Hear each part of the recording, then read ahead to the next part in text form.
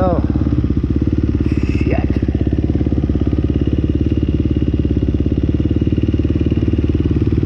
Well, jag har bäst med mig här, säger man så.